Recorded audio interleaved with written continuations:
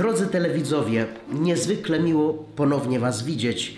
Cieszymy się, że jesteście ciągle z nami i z tego miłego odzewu, jakie wzbudziły nasze filmy, jesteśmy bardzo ukontentowani. Dziękujemy za tyle pochlebnych słów e, i tyle miłych komentarzy i nawet takich osobistych.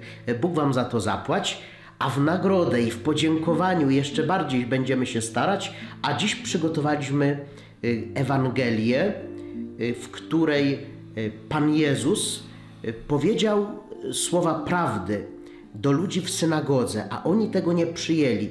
Poddał ich jakby krytyce. Wypomniał im, że nie chcą się nawrócić, poprawić. Wspomniał o pewnej wdowie, która się nawróciła, i to tak bardzo dotknęło tych ludzi. To wspomnienie, że e, poganka się nawróciła, a oni nie, że aż wyrzucili Chrystusa, bo nie mogli przyjąć słów krytyki. Dotknęło ich to do żywego.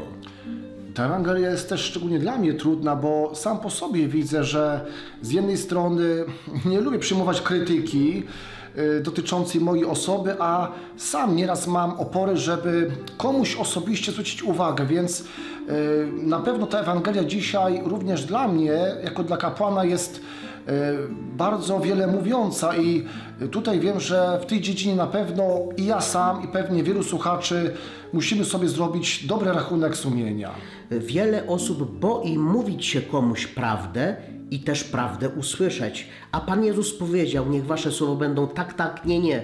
Co nadto jest od złego jest. Mówienie prawdy i przyjmowanie prawdy to jest coś dobrego.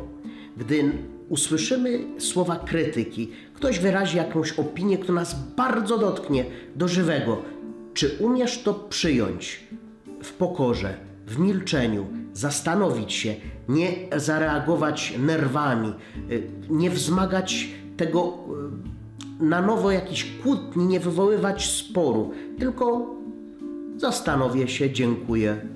Jest to potrzebne, ten dar takiej, bym powiedział, Bożej krytyki jest potrzebny dzisiaj, kiedy mamy czasy chyba takiego rozmywania się prawd religijnych, takiej obojętności.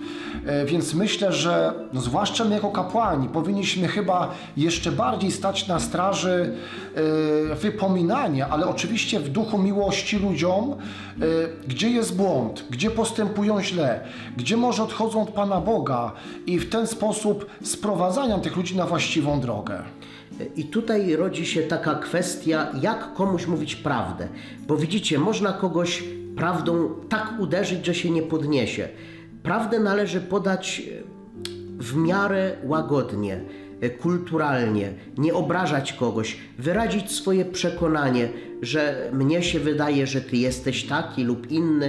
E, to znaczy, chciałbym, żeby słowa, które ja komuś mówię, zostały przyjęte w duchu miłości.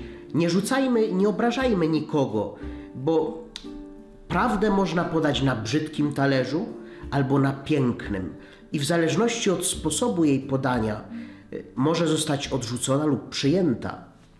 Prawda, którą słyszysz, drogi bracie i siostro, o sobie, jest po to, abyś jeszcze bardziej zwrócił uwagę na tę sferę Twojego życia, która, yy, która też pewnie trochę martwi Chrystusa, więc dziękuj Bogu za tych ludzi, których Chrystus posyła, aby Tobie mówili prawdę, zwłaszcza tę trudną cztery oczy. Do zobaczenia za tydzień. Niech będzie pochwalony Jezus Chrystus.